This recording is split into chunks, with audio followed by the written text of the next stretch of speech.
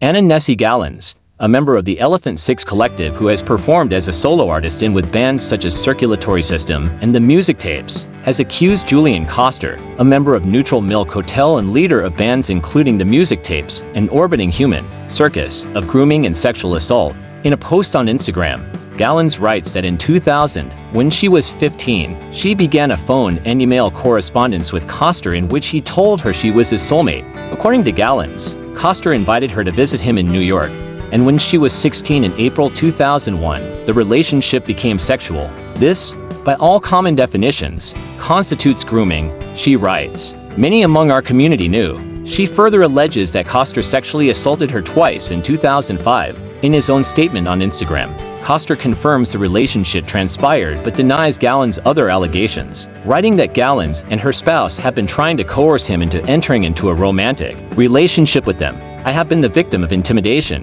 manipulation, and abused by Nesey Gallons for many years, he writes. In her statement, Gallons says Neutral Milk Hotel leader Jeff Mangum was aware of the relationship but did not step in to stop it. Others close to him actual adults, and like myself, as I was still 16, could have also acted on this information then. Why didn't you, Jeff?